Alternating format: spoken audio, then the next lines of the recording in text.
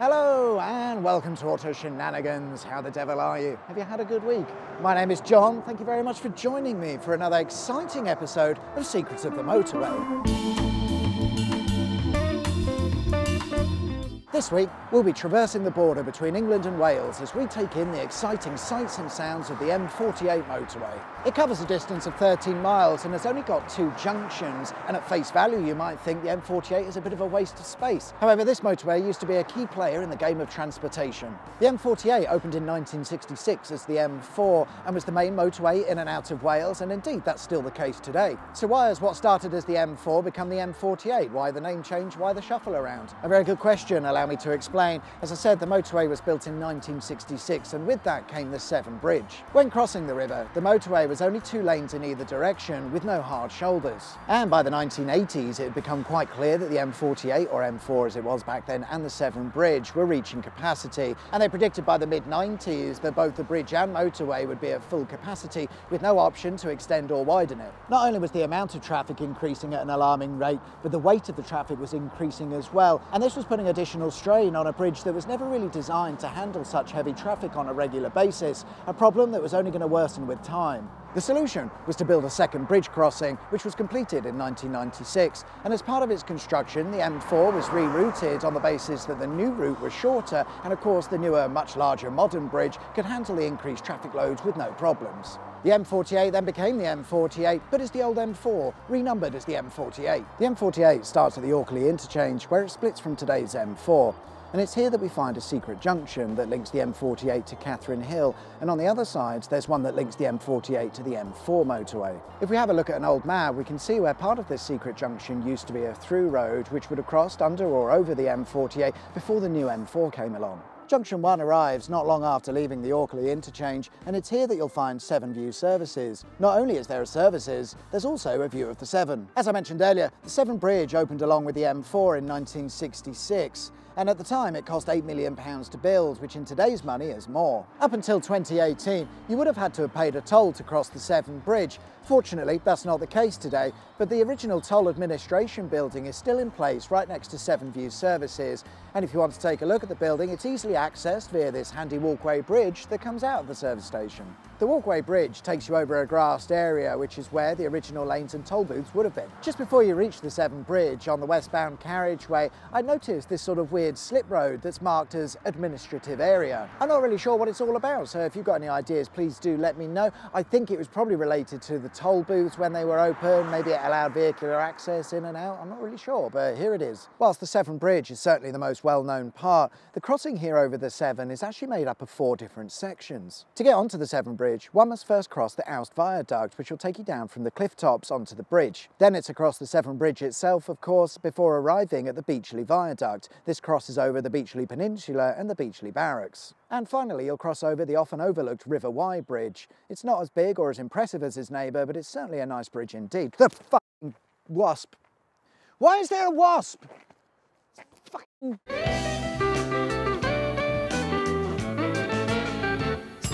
After you've crossed over the Severn Bridge, as mentioned, you move on to the Beachley Viaduct and then onto the Wye Bridge. And it's actually when you cross this bridge that you finally enter Wales, because the modern boundary between England and Wales is marked out by the River Wye. You'd think that after crossing the Severn Bridge you'd be in Wales, but that's not the case. Having crossed over the Wye Bridge, Junction 2 arrives almost immediately after. There's not really a lot to see there, so we're going to move straight on. About two and a half miles up from Junction 2, and the M48 passes the extensive Caerwent training area. It used to be a Royal Navy propellant factory that opened in the 1940s. Back then, they would manufacture and store ammunition on site, as well as conducting rocket motor or rocket engine testing. After the Cold War in 1967, the manufacturing was moved to a different site, and Caerwent was handed over to the US Army, who used the site to store 80,000 tonnes of ammunition. In the early 90s, 12,000 tonnes of ammunition was shipped from Caerwent over to the Middle East during the Gulf War. A lot of the site was supplied via a branch line railway that connected with the Great Western Railway line at Caldicot Junction. There were many internal sidings and shunting areas, and before the original tracks were removed, old rolling stock and locomotives were stored here at Caerwent. As you drive along the M48, you'll pass under this bridge, which carried the branch line and the freight up to the munitions factory. The internet says that as of summer this year, workers started to remove all evidence of the railway and replace it with a cycle path and walkway.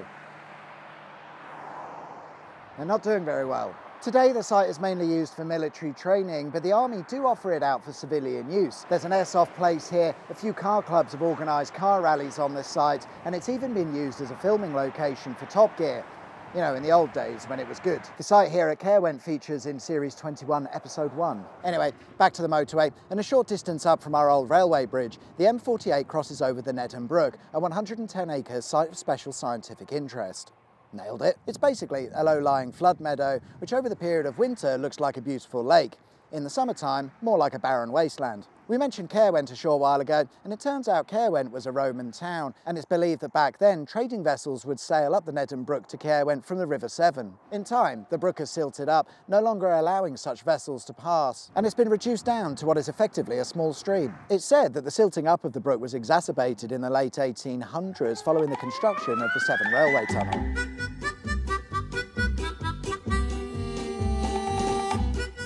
It's not related to the motorway, but I found something quite quirky and interesting for us to have a quick look at. If you ever visit Caldicot railway station, then keep an eye out for the stupidly low bridge that's on offer. How low is it? Well, five foot nine, obviously, or 1.7 metres. There is a self-service level crossing right next door to the bridge for larger vehicles, of course. I'm not really sure though why you'd have a low bridge like that in the first place. Just seems to make things complicated. We're coming up to the end of the M48 now, which can be found at the Rogiet, Rogiet, Ro at the Rogiet interchange where the M48 meets the M4. Just as you approach the interchange, you'll cross over Bencroft Lane on a small bridge, and if you keep an eye out, you'll find a slither of what used to be the old M4 carriageway. The motorway used to run just straight through here on its way up to junction 23A on the M4 as we know it today. A few minutes up the road from there is the site of Ifton Quarry. A place that I can find very few details about other than it opened sometime in the mid-1800s, was used for military and emergency services training in the mid-1900s, and in more modern times has made the press after being listed as one of 28 areas of concern when it comes to cliff jumping.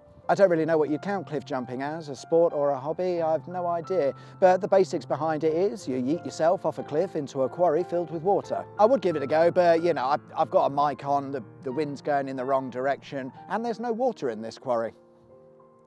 I'd totally do it though, otherwise, and I totally could. Instead, the quarry shall serve as a wonderful place for a video outro. Thank you very much for watching indeed. I hope you liked the film. I've heard that there's a button specifically for that. We're well on our way to reaching that 100,000 subscriber mark, but if you haven't already, please consider subscribing. That'll be wicked, sweet, awesome. Enjoy the rest of your week, whatever it is you get up to. My name's John. You've been watching Auto Shenanigans, and I'll see you guys next time for another exciting episode of Secrets of the Motorway. Till then, take care. Bye-bye.